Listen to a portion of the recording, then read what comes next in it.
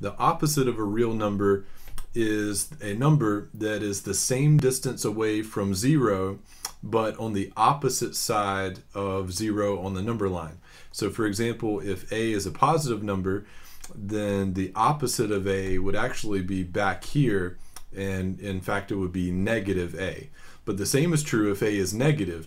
If a is negative, then the opposite is still negative a, because when you have a negative of a negative, it actually turns it back positive again.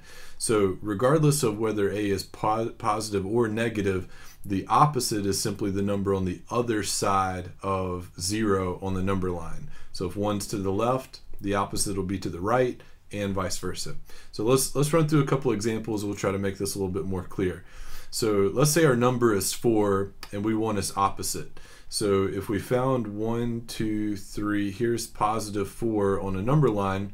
Since it's positive, we go 4 units to the right of 0. Then its opposite would be on the other side of 0, negative 1, 2, 3. Here's negative 4 if here's positive 4.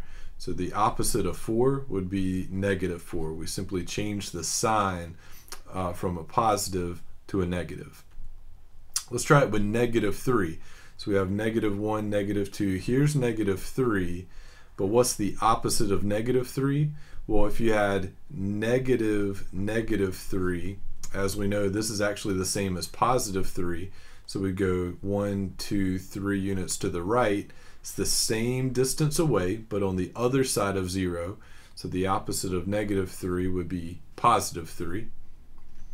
And let's just quickly run through these last two. Even if you have a decimal, let's call it 2.871, then the opposite would simply be negative 2.871 because it's on the other side of 0. 2.871.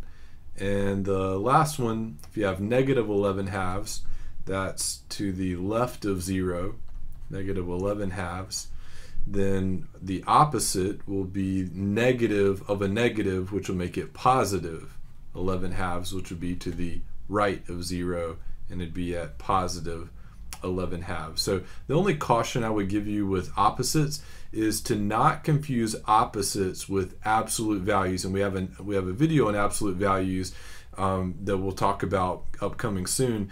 But absolute values will always be a non-negative number, but the opposites could be positive or negative because they're simply on opposite sides of the number zero.